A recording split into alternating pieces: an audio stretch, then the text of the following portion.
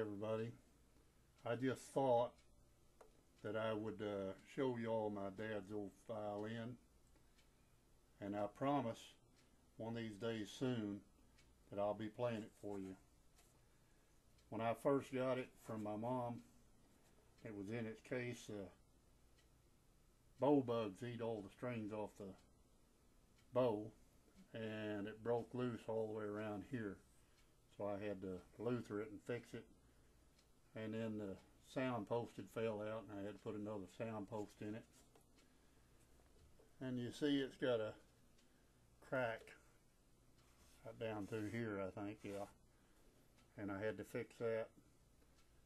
And anyway this is my fiddle and uh, this finger thing on it is something my mom had put on there and it works just like the other one except for it doesn't a little bit different but anyway I thought just for fun I'd show you my dad's old fiddle.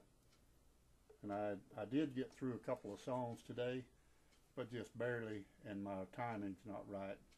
But soon soon I'll uh, do a recording and post it. Till then bye bye